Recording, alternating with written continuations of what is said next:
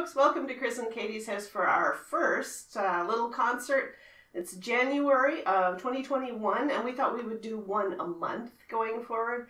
I looked around for happy, uh, fun things to play in January, and I'll tell you, all the January songs are cold and dark and kind of dreary. So we decided that we would think about spring instead. So uh, this is the Teddy Bears Picnic, um, rearranged for Chris and I on clarinet and bassoon.